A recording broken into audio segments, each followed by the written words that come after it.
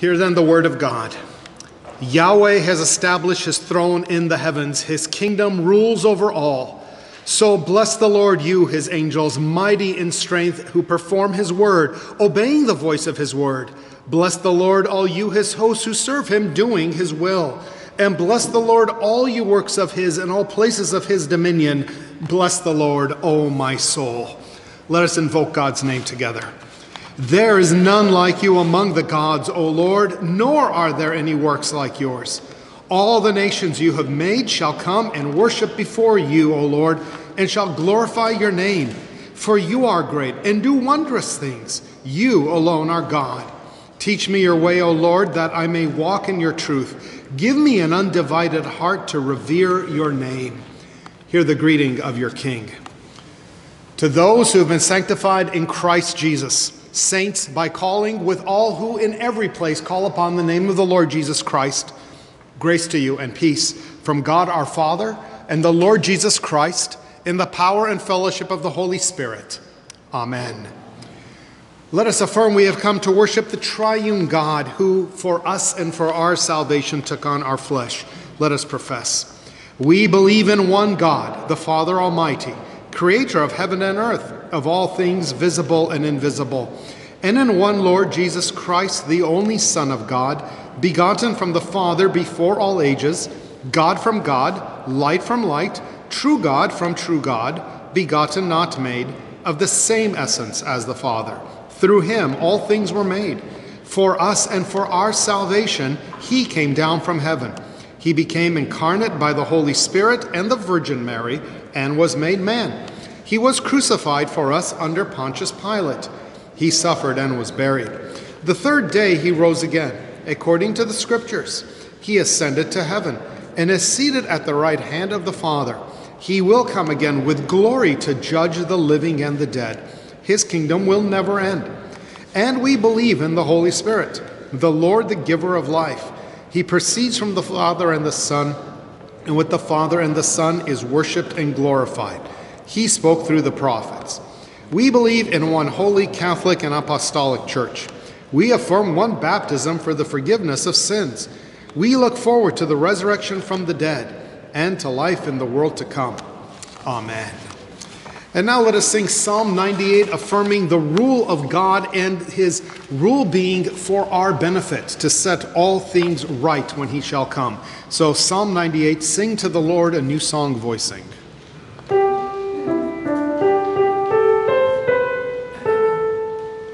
Sing to the Lord a new song voicing, for mighty wonders he has done. His right hand and his arm most holy, the victory for him have won.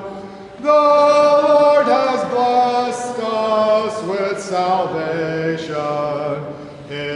righteousness as he made known. He has revealed to all the nations that justice issues from his throne.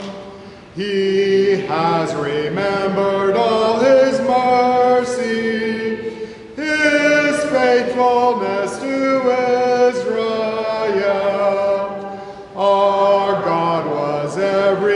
everywhere triumphant.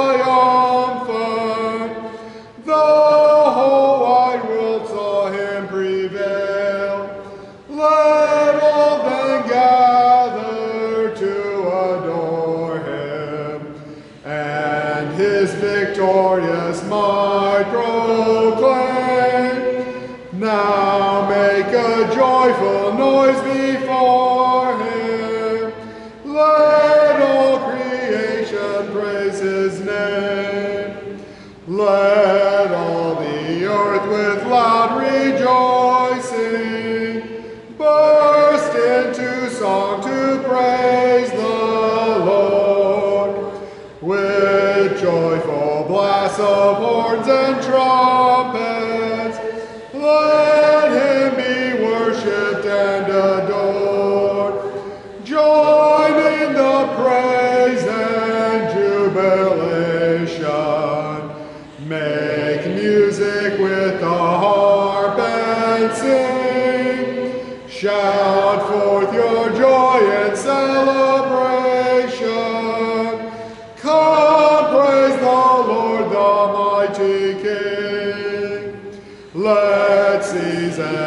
and oceans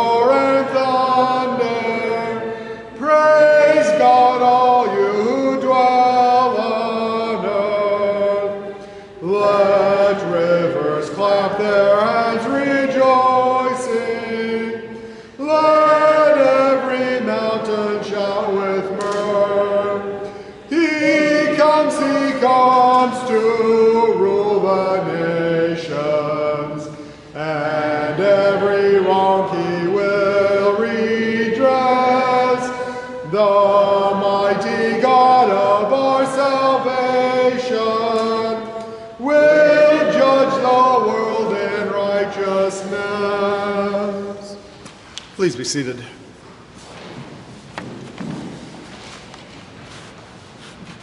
It is good, it is right for us to remember that the Lord's kingdom is already present, although not yet in its fullness, and he will judge in righteousness. So let us turn to the Word of God to see what are the righteous judgments of God as revealed in his Word.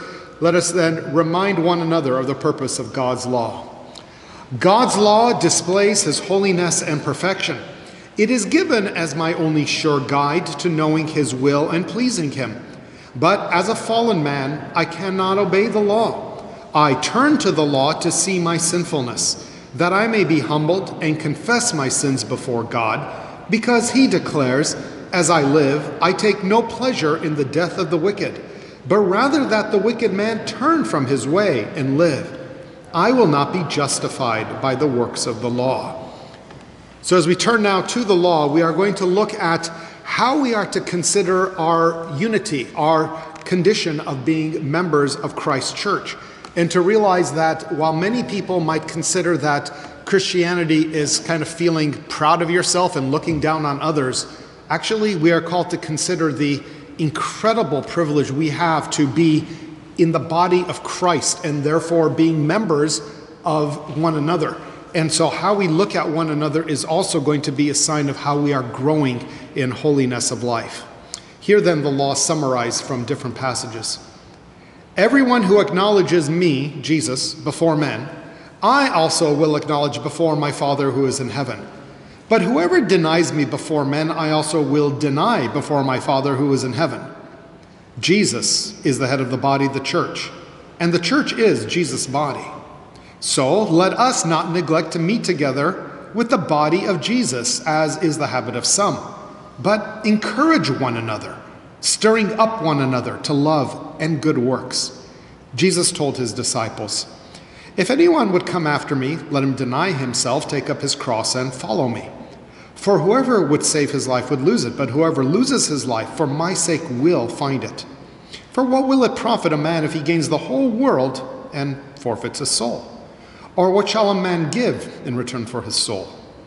So to have lawsuits at all with one another, demanding your rights in the church against those of others, rather than actually doing what Christ says, picking up your cross, would already be marking a defeat for you.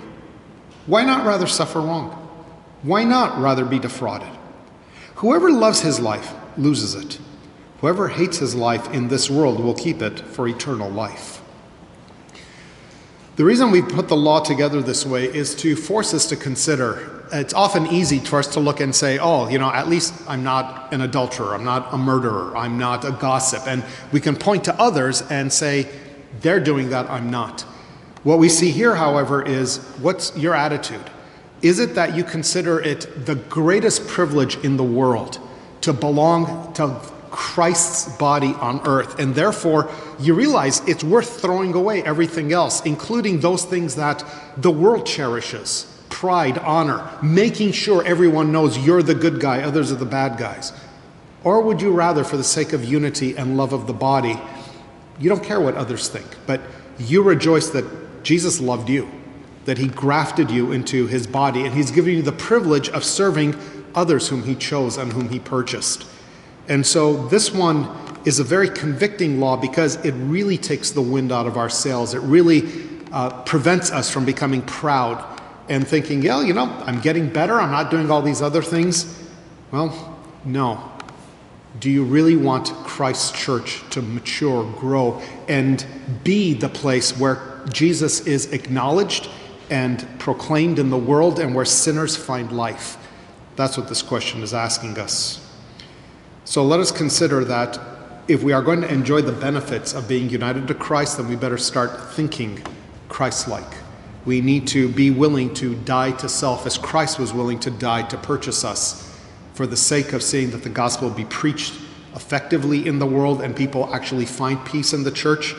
Let's die to self, stop insisting on our rights, and be willing to do good for all others. Let us confess our sins together. God has sent his Son Jesus in the likeness of my sinful flesh as an offering for my sin. In doing this, God demonstrates his electing love for me, in that Christ died for me, the sinner. That no one is justified by the law before God is clear, for the man who by faith is righteous shall live. I don't have a righteousness that is my own, from my obedience to the law, but that which is through faith in Christ the righteousness which comes from God on the basis of faith. I believe that I am justified by grace alone, through faith alone, in Christ alone, apart from my own works and attempts to follow the law. If we say that faith is a saving instrument, then we need to know what is this saving faith? Beloved, what is the true faith? True faith is not only a sure knowledge whereby I hold as true all that God has revealed to us in His Word. It is also a wholehearted trust, which the Holy Spirit works in me by the gospel, that God has freely granted not only to others, but to me also forgiveness of sins, eternal righteousness, and salvation. These gifts are purely of grace, only because of Christ's merits. So, knowing then it is only in Christ that you have life, let us now confess our thankfulness that God would love us so much and let us give up any self righteousness and find our only hope in Christ Jesus alone.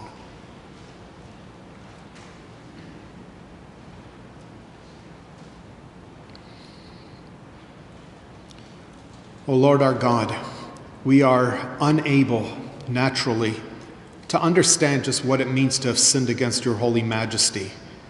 We live selfishly, self centered and we are unable to fathom the incredible blasphemous ways of which we have thought and spoken of you, how our actions have reflected our rebellion against you, and how much we truly have despised our fellow men and felt them to actually be the obstacles to our holiness. So we come before you now confessing that we have denied Christ because we've denied your church. We've denied the work that you've done by your Spirit in bringing these people together to be the body and blood of Christ on earth. And we are a people so arrogant and boastful that we look down on all that you have done. And now you tell us, come back and find life in you. You tell us that despite all we've done, you will not hold our sins against us, but instead you paid for them. You shed your blood so that we would, we would not have to make the payment, but that we would receive free forgiveness. Lord, we ask you to give to us a heartfelt conviction of the truth of your word in order that we would stop denying your word and believing our own delusions of self righteousness, of meritorious works. We pray that we would indeed learn to trust in your promise alone and in your merit alone and give all glory to you alone, recognizing that the one and only eternal God of all creation took on our flesh because he loved us to die in our place. May we therefore find in you everything we need and great joy and a thankful heart which responds with gratitude always and every day for all the blessings we enjoy in Jesus Christ our Lord. Amen. Beloved, please stand that you may hear the sure word of the gospel promised to you this day. To you who by faith have confessed and repented of your sins and trusted in Jesus' merit alone. I declare in the name of Christ and by the authority of his word your sins are forgiven, the record of your transgressions is blotted away, and your everlasting salvation is hid now in Christ Jesus, who will resurrect you in the last day. And so it is for us to marvel and rejoice in the love of God and His grace and to proclaim the excellencies of Christ and His gospel to the ends of the earth. So let's respond by singing, Oh, for a thousand tongues to sing.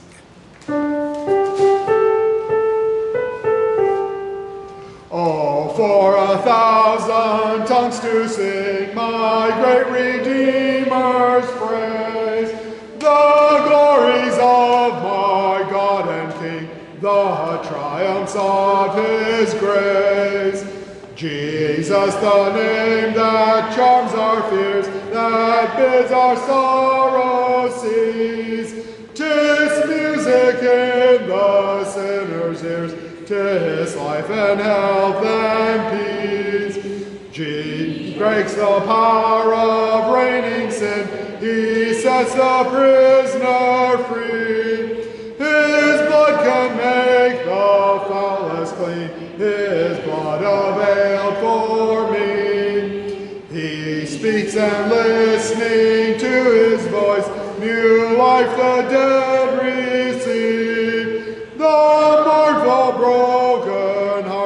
Rejoice, the humble poor believe. Hear him, ye deaf, his praise dumb, your loosened tongues employ. Ye blind, behold your Savior come, and weep ye lame for joy. My gracious Master and my God, assist me to proclaim,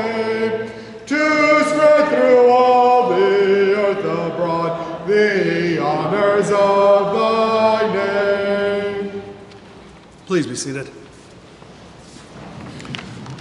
So, every week on page 16, we have a list of things to pray for as we spend time at home in prayer and also as we come together praying for our own local church, for our federation and the missions of our church, as well as for the needs of the mission to the church to the whole world. So, let us now come before our God in prayer. We come this day before you, our great God, and we ask that you will work in us by your Spirit to help us to realize what an awesome blessing and a privilege it is that we have not been left forsaken, alienated from the covenants, having no hope, but rather you've gathered us to be the Israel of God and have brought to us all the promises and blessings of Abraham. Already, though not yet in its fullness, a greater glory still to come.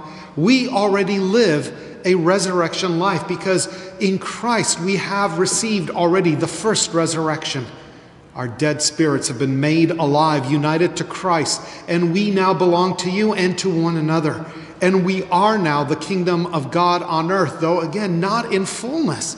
But we can see already you are bringing together people from every tribe and tongue and nation, and you are bringing together Jew and Gentile, slave and free, male and female, to be one and to be united in this that the eternal God took on our flesh and paid for our sins so that there is for us free salvation and everlasting life. And now we are called to bring glory to you with thankful hearts and to declare the excellencies of your grace and to see that your gospel be proclaimed, the pure word of the gospel be preached to all the world. And so we pray, though we are totally inadequate to this work, we ask that you will nonetheless use us because you chose us. And so we pray that this church will be the body of Christ and the sweet aroma of life to all who hear the gospel, and you will call many to yourself. And we pray for the work you've given us as individuals in our own families and neighborhoods, schools and workplaces, and among our friends, recognizing that it is we who will reach them, that sometimes they have access to no other believers. And Lord, we pray that we will speak the truth in love, as we know there are many blasphemies there are many denials of the truth.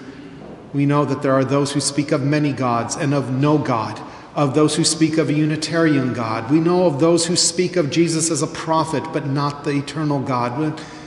We know that they are blind and they are perishing.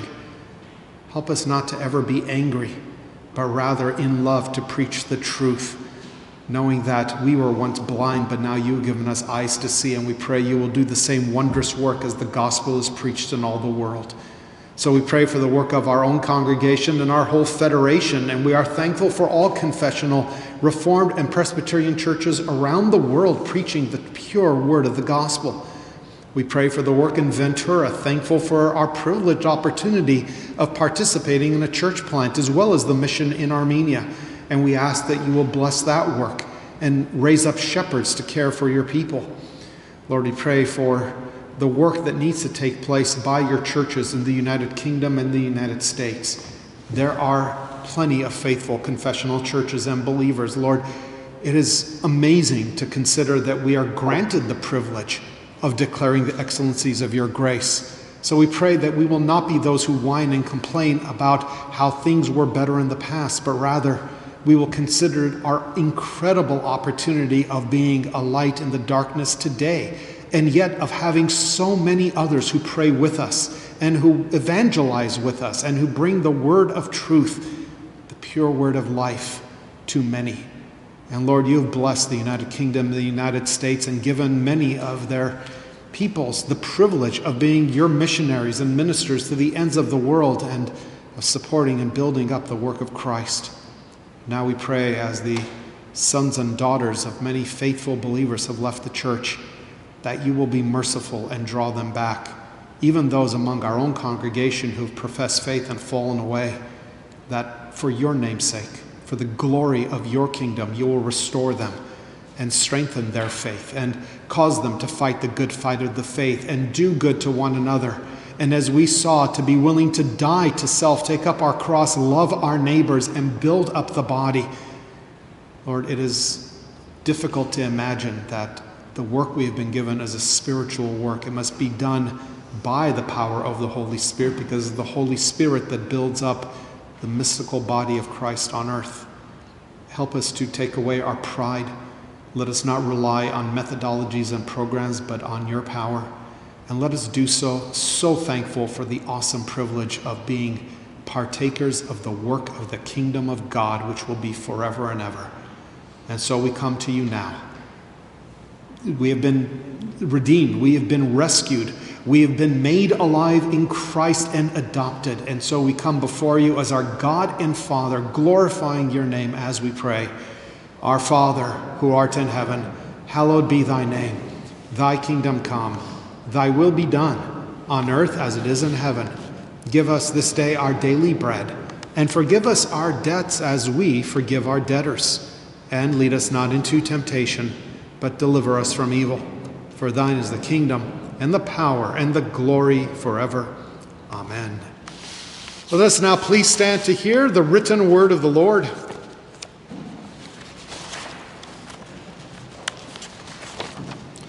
Hear then the written word from the Old Testament, four selections taking from the uh, genealogies. These are the mothers of Jesus recorded in Matthew 1. Genesis 38, 13 through 16, and verse 24. Now, when Tamar was told, Your father in law is going up to Timnah to shear his sheep, she took off her widow's garments and covered herself with a veil, wrapping herself up, and sat at the entrance of Enaim, which is on the road to Timnah. For she saw that Shelah was grown up, and she was not given him in marriage. When Judah saw her, he thought she was a prostitute, for she had covered her face. He turned to her at the roadside and said, Come, let us come to, in to you. For he did not know that she was his daughter in law. Verse 24. About three months later, Judah was told, Tamar, your daughter in law, has been immoral. Moreover, she is pregnant by immorality. Joshua 2 1. And Joshua, son of Nun, sent two men secretly from Shittim as spies, saying, Go view the land, especially Jericho. And they went and came into the house of a prostitute whose name was Rahab, and lodged there. Ruth 3 1 through 8. Then Naomi, her mother in law, said to her, My daughter, should I not seek rest for you that it may be well with you? Is not Boaz your relative with whose young men, women you were? See, he is winnowing barley tonight at the threshing floor. Wash yourself, therefore, and anoint yourself, and put on your cloak, and go down to the threshing floor. But do not make yourself known to the man until he has finished eating and drinking. But when he lies down, observe the place where he lies, then go and uncover his feet and lie down, and he will tell you what to do. She replied, All that you say I will do. So she went down to the threshing floor and did just as her mother in law had commanded her. And when Boaz had eaten and drunk, and his heart was merry, he went to lie down at the end of the heap of grain. When she came softly and uncovered his feet and lay down, at midnight the man was startled and turned over, and behold, a woman lay at his feet. 2 Samuel 11 1 through 5.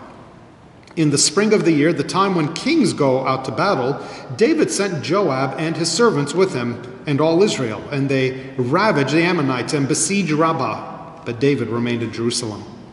It happened late one afternoon when David arose from his couch and was walking on the roof of the king's house that he saw from the roof a woman bathing, and the woman was beautiful. And David sent and inquired about the woman, and one said, Is not this Bathsheba, the daughter of Eliam, the wife of Uriah the Hittite? So David sent messengers and took her, and she came to him, and he lay with her. Now she had been purifying herself from her uncleanness. And she returned to her house, and the woman conceived and she sent and told David, I'm pregnant. From the New Testament, Matthew 1, and we'll read selected verses. The book of the Genesis of Jesus Christ, the son of David, the son of Abraham. Abraham was the father of Isaac. Isaac was the father of Jacob. Jacob, the father of Judah and his brothers. And Judah, the father of Perez and Zerah by Tamar. And Salmon, the father of Boaz by Rahab and Boaz the father of Obed by Ruth, and Obed the father of Jesse, and Jesse the father of David the king. And David was the father of Solomon by the wife of Uriah. And all this seven or generations until the deportation to Babylon. So verse 17. So all the generations from Abraham to David were 14 generations. From David to the deportation to Babylon, 14 generations. From the deportation to Babylon to the Christ, 14 generations. Now, the birth of Jesus Christ took place in this way. When his mother Mary had been betrothed to Joseph, before they came together, she was found to be with child from the Holy Spirit. And her husband Joseph, being a just man and unwilling to put her to shame, resolved to divorce her quietly. But as he considered these things, behold, an angel of the Lord appeared to him, saying in a dream, Joseph, son of David, do not fear to take Mary as your wife, for that which is conceived in her is by the Holy Spirit. She will bear a son, and you shall call his name Jesus, for it is he who will save his people from their sins. All this took place to fulfill what the Lord has spoken by the prophet. Behold, a virgin shall conceive and bear a son, and they shall call his name Emmanuel, which means God with us. When Joseph woke from sleep, he did as the angel of the Lord commanded him. He took his wife, but knew her not until she had given birth to a son. Then he called his name Jesus. Hebrews 2 10 through 12. For it was fitting that he, for whom and by whom all things exist, in bringing many sons to glory, should make the founder of their salvation perfect through suffering. For he who sanctifies and those who are sanctified all have one source. That is why he's not ashamed to call them brothers, saying, I will tell of your name to my brothers in the midst of the congregation, I will sing your praise. 11, 13 through 15, 16. All these, the faithful, died in faith, not having received the things promised, but having seen them and greeted them from afar, and having acknowledged that they were strangers and exiles on the earth. For people who speak thus make it clear that they are seeking a homeland. If they had been thinking of that land from which they had gone out, they would have had opportunity to return. But as it is, they desire a better country, that is, a heavenly one. Therefore, God is not ashamed to be called their God, for he has prepared for them a city. So far, the written word. Our God, we come before you and we pray that we should understand who we are and that we should know better our Savior and his humiliation, his willingness to suffer every affront, every type of shame in order to purchase us. May we therefore glory in your grace and in your love and in all that is shown to us in your gospel. We ask this in the name of Christ Jesus our Lord. Amen. Please be seated. As we come to this season year after year, and the whole world keeps talking about peace, the unfortunate thing is that they have no comprehension of what this peace means. They tend to mean it's a time to kind of set aside anger and kind of be nicer to people. Somebody signals, let them cut in front of you. Somebody cuts you off, don't chase them, don't curse. And that's kind of the idea of peace. But that's not the peace that's spoken of in the scriptures. Because when the angels announced, There shall be peace, it was peace between a God who was angry with sinners, whom he had every right to destroy, and the men that he, in his justice, should have destroyed. It was a peace whereby the anger of God was turned away, and that anger, the just wrath of God, poured out on himself, where Christ the Son, the eternal God, took on our flesh and stood in our place and died the sinner's death for us. And one of the things that we kind of marvel about is why? Why would he do such a thing? I mean, he's God. It doesn't make any sense. And that's part of it. The gospel really is nonsensical to our fleshly way of thinking because it is so gracious. It is a God who owes us nothing, who had everything, who was offended in every way by us over and over again, loving us and purchasing us. But when he does so, he does not do as you and I may do. I mean, when many of you here have either worked in a soup kitchen or given money to a beggar or something like that, when you did so, did you first go home and say, Oh, I'm going to be serving the soup kitchen? I had better find my oldest clothes that are torn, that I've soiled myself in, that reek. I have to put those on so that I don't show myself to be superior to the beggars and to the hungry that I'm feeding. We never do that. We clean ourselves, we put on decent clothes, and we go there and we serve them as their betters. Not to be insulting, it's just that if they are in that condition, you're just physically in better shape than they are.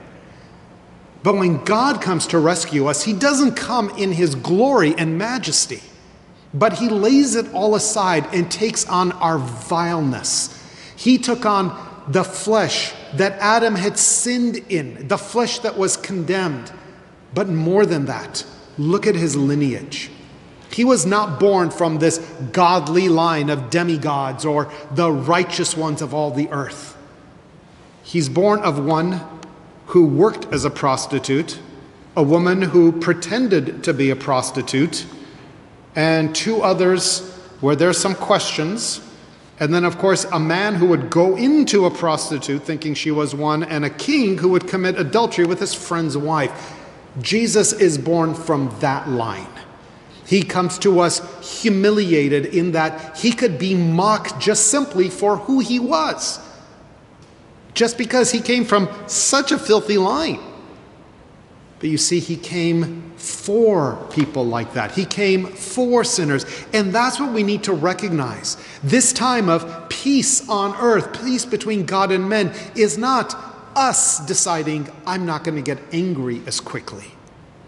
It is God who is eternally holy and just, choosing to take our wrath, our punishment on himself, and instead announcing to us free and gracious forgiveness and his own power given to us in order that we would not only strive against sin, but that we would actually be able to show the light of God in the way we extend grace to others, how we come together as one body, the body of Christ, how we go out and proclaim the gospel to those who have actually murdered other Christians.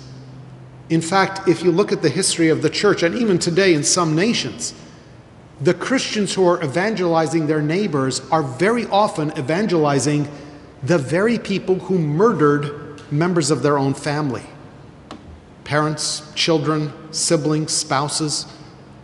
And yet, instead of desiring revenge, they are able to see this person already has the worst possible danger on his head. He is going to face the wrath of God for killing the apple of God's eye.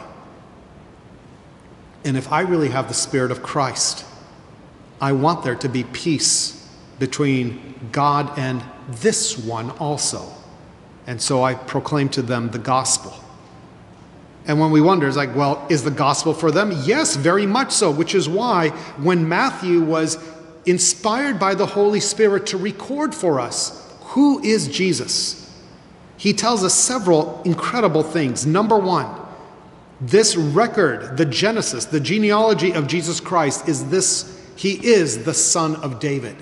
He is the promised king who will rule. He will be the Solomon, the peace, the shalom, the, the king who will rule over a kingdom of peace, and he will rule justly, as we sang Psalm 98. And he will be the son of Abraham, the one that Abraham was told, the seed that would bring a blessing to all the nations. He would be the one who would turn this land of anger, hostility, war, and death into the kingdom of peace and light and life. And this Jesus would come at the right time.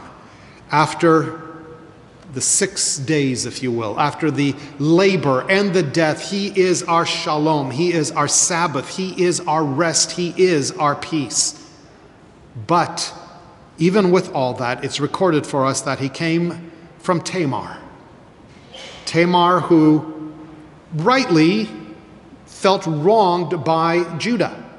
Judah, who was told, according to the laws of that time, that since Tamar has forsaken her family to marry yours, she is to be given descendants. And your first son died, your second son died, but when your third son is old enough, he has to go into her to give her a lineage, a line. Judah saw her as bad luck. Two of my sons have already died. I'm not going to give her my third son. So she was right in that she had been wronged by Judah. But the solution is not to take it upon herself and dress up as a prostitute and seduce Judah, but that's what she does. And what about Judah? He is the one to whom the promised scepter was given, from whom would come David and ultimately the Christ. He's the kind of man that goes to prostitutes. Hardly something we would be bragging about. And then when we get to the story of Joshua, you have Boaz is the son of Salmon and Rahab, whose profession was prostitute, and a Canaanite at that, after Israel has already been established as a people after being brought out of Egypt.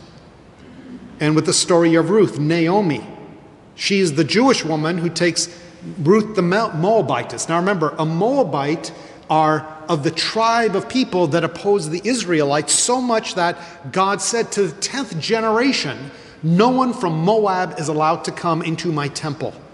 But here is Ruth now saying, I wish to be a Jew. And Naomi, who should be now helping nurture and guide her, turns out to be one of the most embittered, angry people in the world. Sees no good in anything, and yes, she's had a hard life but she's embittered against God. And then the advice she gives to her daughter in law, Ruth, is do not go honestly to Boaz and speak to him and say, you know, I'd like to be your wife, but seduce him after he has had a night of celebration and drinking. Surprise him so that he can't say no. Hardly great virtue there. Boaz turns out to be very virtuous. And then, of course, we get to the story of David the king, after his servants even tell him, That's your friend's wife. This is one of the 30 great men of Israel, a general who gave up being a Hittite in order to join the covenant community, has fought as a champion. That's his wife. And David says, Yeah, go get her. We're not sure exactly what it means that she was bathing on the roof, but the point for us here is at least David now fathers the line of Jesus through adultery. This is the story we are given. So, what kind of a Savior do we have? On the one hand, great and glorious, the eternal God, holy and perfect, and yet of a human lineage so vile. So, is there something you've done that you think is too shameful for God to ever be willing to consider forgiving you? Well, Jesus was very willing to identify. In fact, the Spirit of God demanded of Matthew to record, remind people when they're reading the New Testament of all those ancient stories that were recorded in the Old Testament to know exactly from what kind of line the Messiah, the chosen one, would come. Because I want people to know this one knows what it's like to be born into a family of shame. This one knows what it's like to be fleshly and weak, and he has come for me.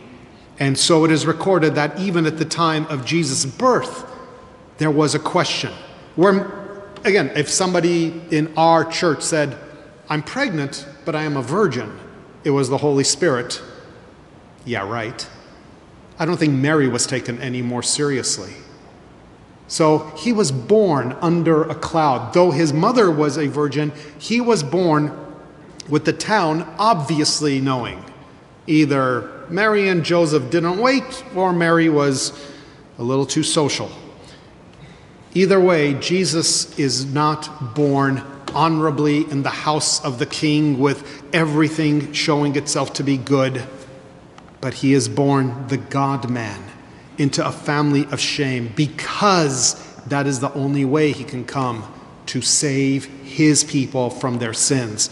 And so the name Jesus is the Greek version of the name Joshua, and Joshua is Hebrew for God saves. And so here we are. He is born as the God with us, Emmanuel, and he is born as the Joshua, the God who saves. And he is not ashamed. He is not ashamed to be identified with you. He was not ashamed when he took your record of your sins on the cross. Remember, he's eternal God, omniscient, knowing all things at all times. On the cross, he wasn't just simply thinking that here I am, Pilate having condemned me, and there's these men crucifying me. He was able to think of you by name and every one of your sins. And as he died, he was thankful to the Father for the privilege of purchasing the elect, of ensuring that justice had been fulfilled. And therefore, there would be never again a call for you to have to account before God for that sin because it had been paid for.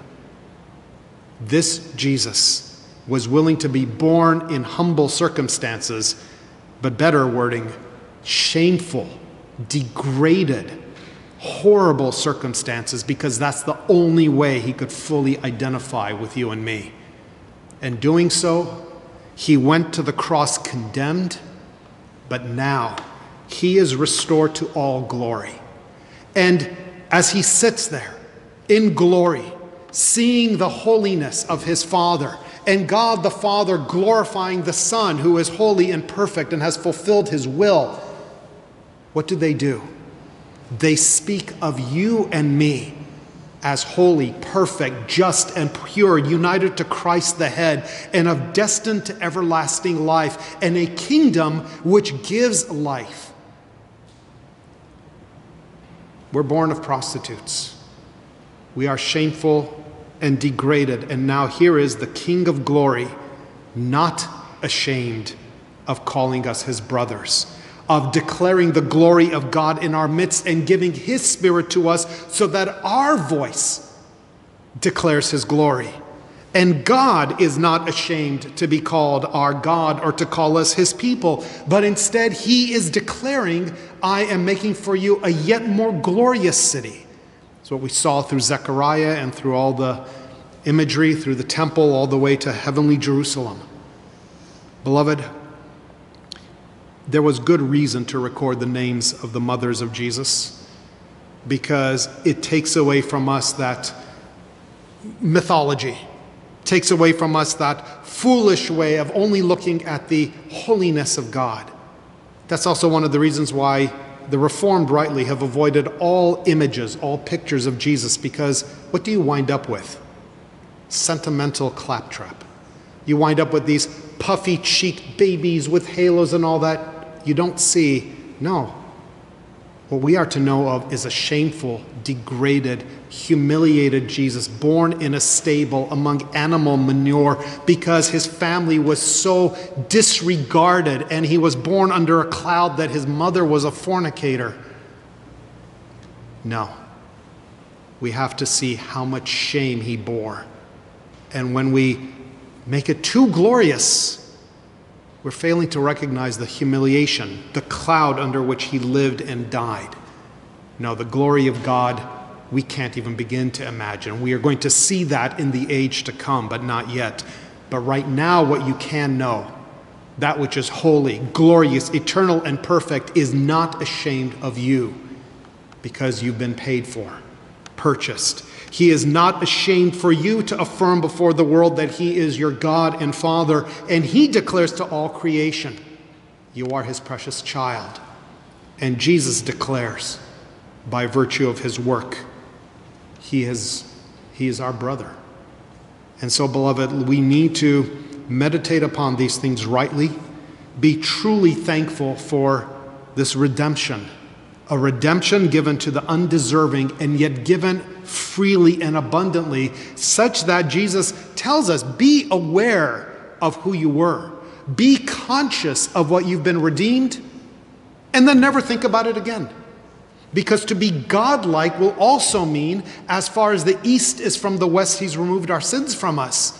It means we will dwell in eternal glory, not thinking of our sins, and yet still knowing it was by grace we have been saved. What an amazing thing. He doesn't want us constantly ashamed, but He wants us rejoicing in His glory in which we live, which is why He can call us His people. So, let's never forget of what stock we are, where we've come from, what we are capable of still doing until we're glorified. And let us recognize it is from this very sort of people that Jesus was descended. And for this very sort of people he came to die. This very sort of people he has redeemed. And so, is there any sin you have that will not be forgiven? Of course not. If you bring it to Christ, he is gracious, willing to forgive, because he came for people just like you and me. Let's pray. We come before you, our God, thankful that we are not being deceived by the lies of the wicked one because you graciously have made us alive. We are no better than anyone else. In fact, we can see the type of lines from which we have been descended. And yet, it is to such people you have come, and you have delivered us from death to life.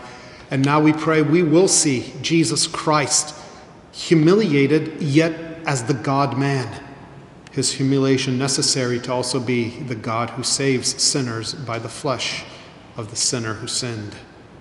We ask, O oh Lord, that we should therefore bring all glory and praise to you, be thankful for the gift that we have received, and be witnesses of your grace to all the world.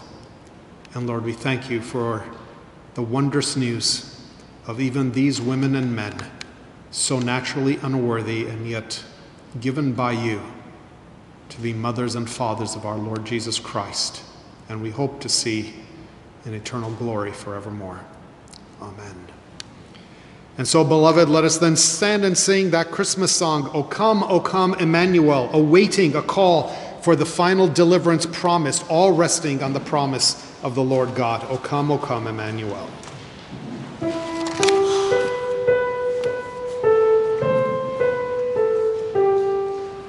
O come, oh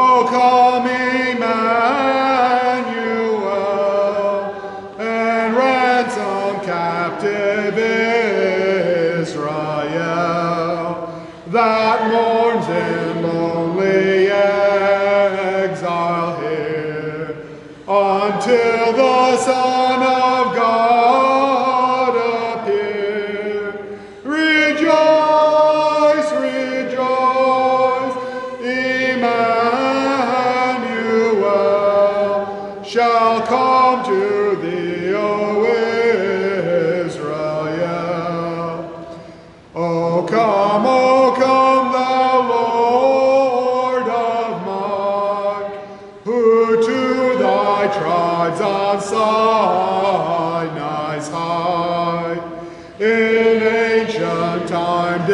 didst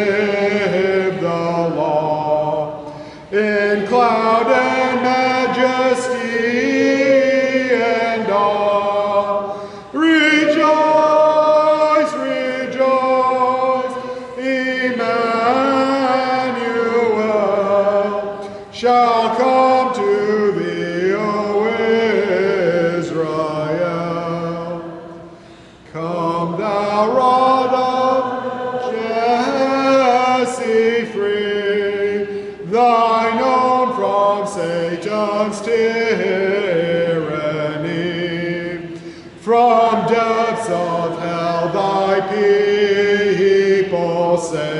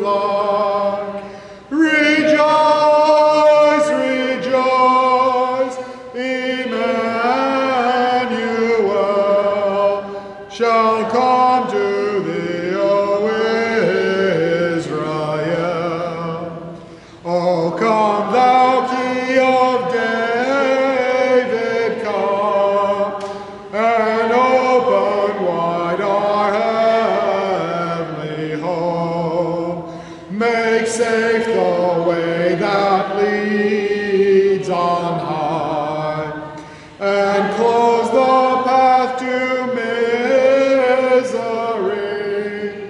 Rejoice, rejoice, Emmanuel shall come to thee, O Israel. Please be seated.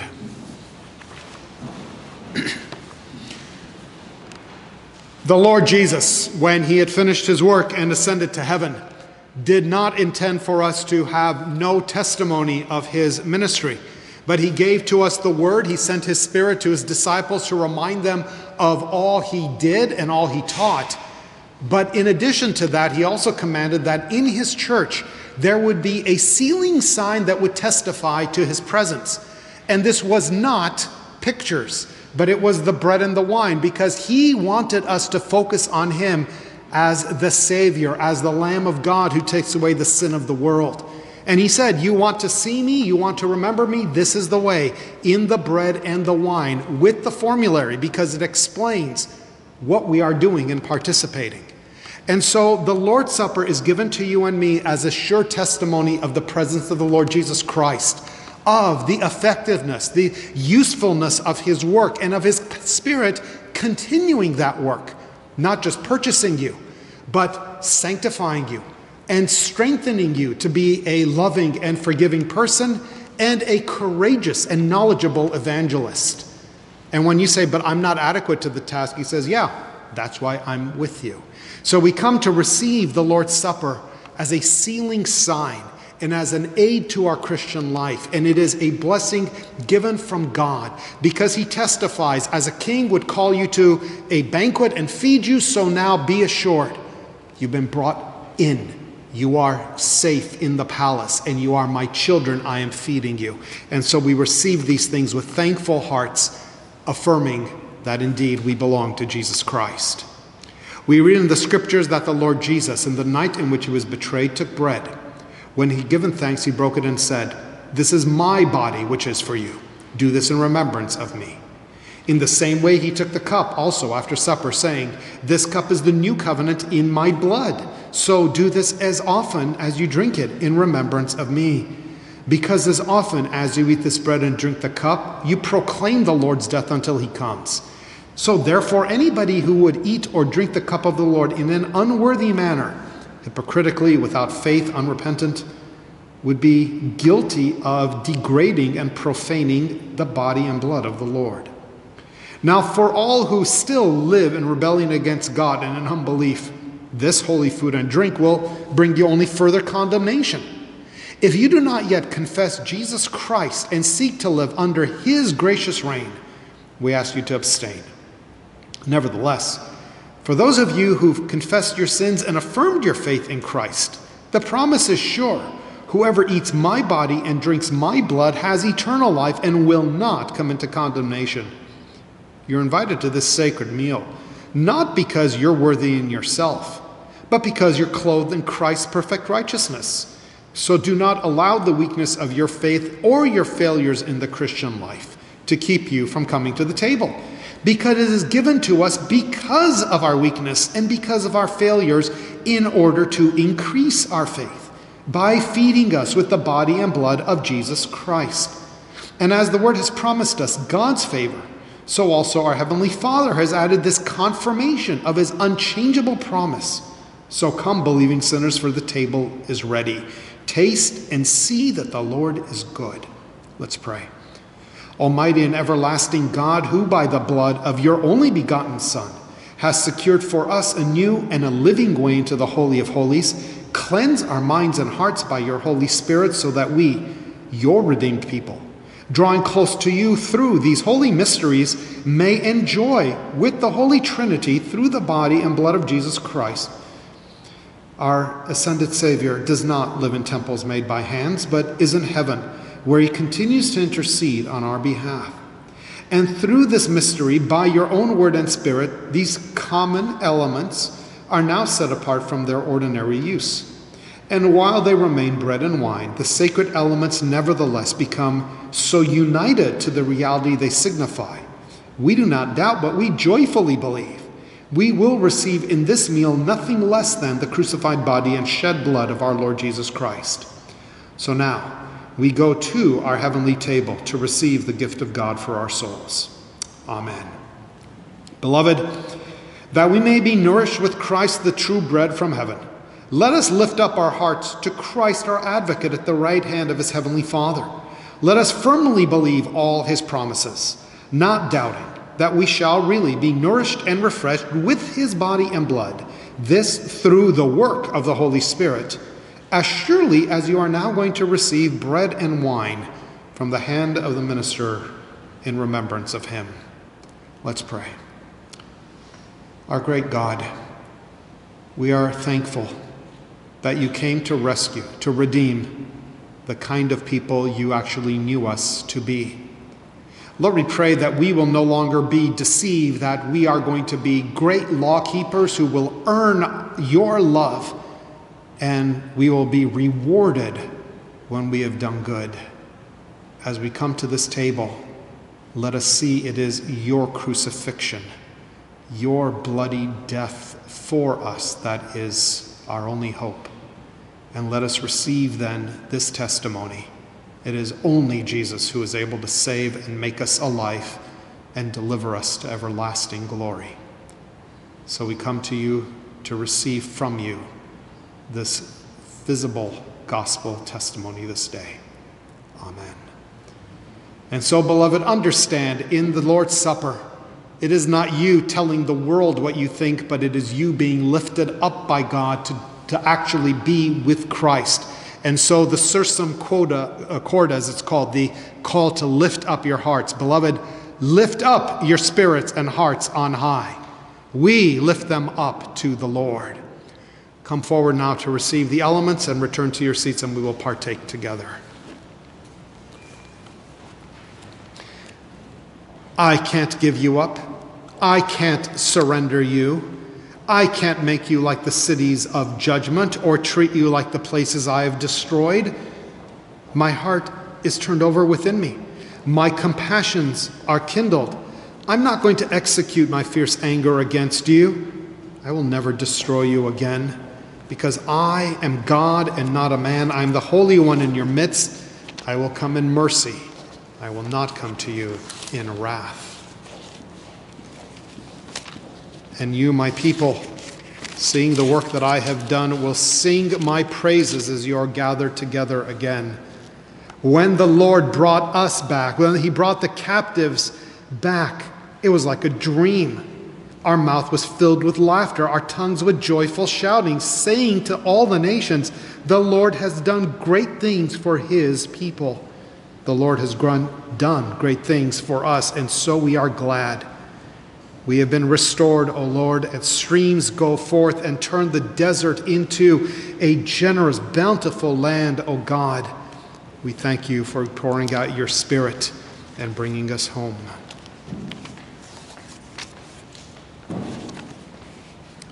Truly, truly, I say to you, unless you eat the flesh of the Son of Man and drink his blood, you have no life in yourselves. But he who eats my flesh and drinks my blood has eternal life and will not come into judgment, and I will raise him up on the last day.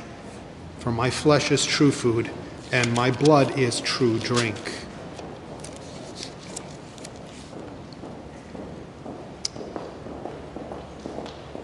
I came so that you may have life and have it to overflowing. I am the good shepherd. I know my own. I know you, and my own know me. Even as the Father knows me, and I know the Father. And so I lay down my life for you, the sheep. And you will hear my voice, and you will come and be one flock with me as your one shepherd and I will lay down my life for you. No one will take my life from me, but I will lay it down of my own initiative because I have the authority and the power, and I choose to do it for you.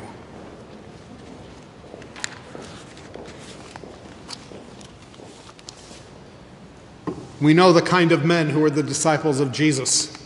But in that night he was betrayed, in the night that he was going to go to be tried, he loved them to the end. And he wanted them to know that though they would be seeing him taken away by the Roman guard, that he was actually going to be with them always by the power of the Holy Spirit. In fact, more gloriously, they would be united to him. And so he gave the Lord's Supper as a physical sign and testimony. That night he took the bread, broke it, and told his disciples, This is my body broken for you to take the wrath of God upon myself, so that you will be delivered from your sins. So, beloved, take, eat, remember, and believe the body of the Lord Jesus Christ broken for you.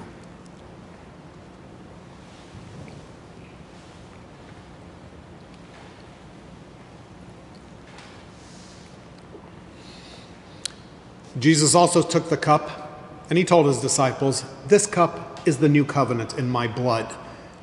You don't have to look back any longer to the Passover lamb because now what that typified has come, which is why John said, the Lamb of God who takes away the sin of the world. Beloved, take, drink, remember, believe Christ's blood given to you for the forgiveness of your sins and to strengthen your life for the age to come.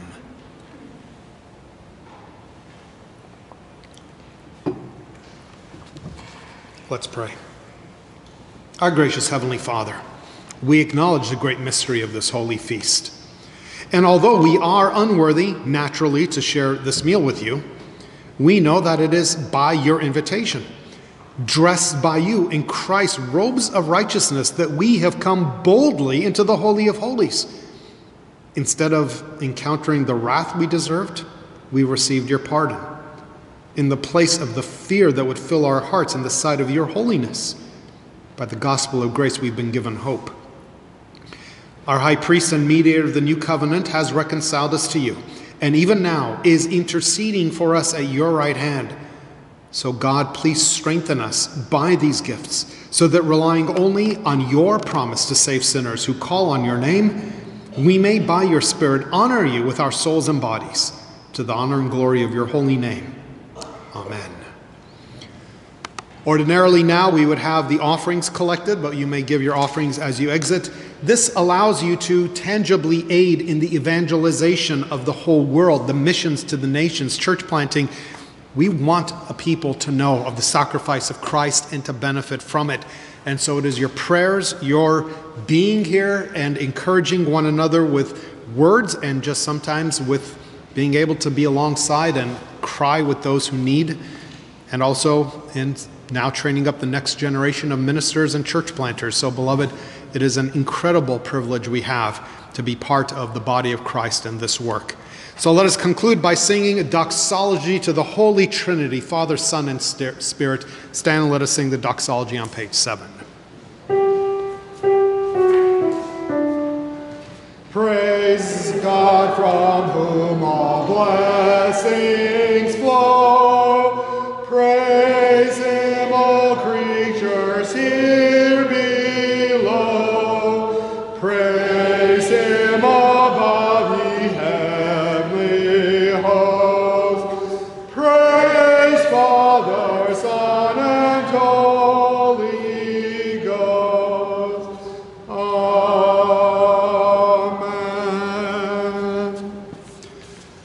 And beloved, be assured the Lord is with you, continuing to uphold you, preserving you for everlasting glory.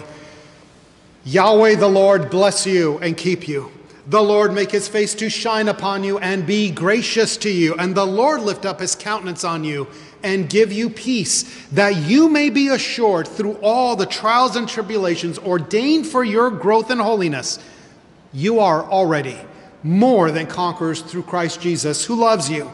Be assured that nothing will be able to separate you from the love of God, because God's love for you is through Jesus Christ our Lord. Amen.